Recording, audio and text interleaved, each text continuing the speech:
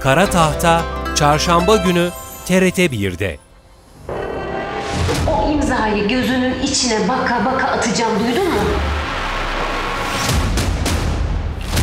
Herkesin içinde benden özür dileyeceksin.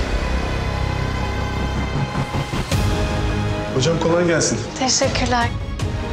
Umarım ne kadar şanslı bir kadın olduğunu hiç unutmazsın. Resmen acı çekiyorsun. Bu davetiyeleri çöpe atmayacağım. Bu düğün bizim düğünümüz olacak. Al bunu. Kızımın beğendiği evi tut. Teşekkür ederim müdür bey. Babanım oğlum ben senin. Ne biçim konuşuyorsun? Bir türlü tutturamadım galiba ha. Sağ ol baba. Umudunuzu kaybetmeyin.